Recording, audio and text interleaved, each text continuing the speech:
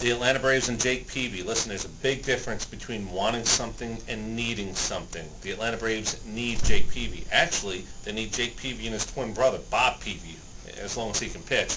The Atlanta Braves are not in the greatest of bargaining positions. What do you have to do if you're Frank Wren? You got to draw a line in the sand. But then you better be willing to move the line a little bit. How many prospects do you want to need to give up? Jair Jurrjens can't have him. He's my cheaper alternative, and why get a guy if I don't have the other guy? And you better have at least two. With Tim Hudson down for what might be the whole year next year, the Atlanta Braves are in a spot where they need two starting pitchers. I need Jurrjens, but I need Peavy. What do I give up? I give up one of my middle infielders. I give up one of the outfield prospects, but I can't give up my top pitching prospect.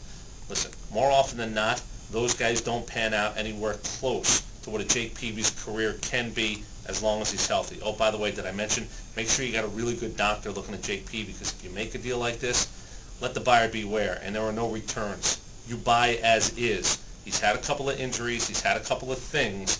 You better hope that you can ensure that those things don't lead to your problems down the road. Contract makes a lot of sense for the Braves, and the Braves have money.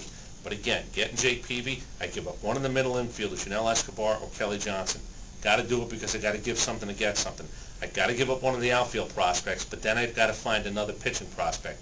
I'm sorry Charlie Morton and a couple of these guys didn't pitch better, JoJo Reyes, you included, where this deal could have been more viable. They don't have value now, and the Padres need and want value. They want cheap value, too, by the way. Here's the other little catch. They don't want Khalil Greene $6.5 million. Maybe that's why they want Yunel Escobar, because Khalil Greene's going to come over. If you got to do it on those grounds, then you better also say, if I take six and a half this year to give to him, what can I not get? And the Braves need more than Khalil Greene. It's going to be tricky for Frank Wren. We said it tonight that Mark Teixeira was traded. Frank Wren, you wanted the job. You waited in line. Hell, you probably earned it.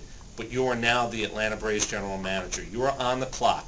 You need a pitcher, then you need another one. If Jake Peavy is the one that you can get through the trade, you better do it. If you got to have money for free agency, you better find it. You better ask for it, you better spend it wisely. The Atlanta Braves are at least four steps away from being a true contender in the National League.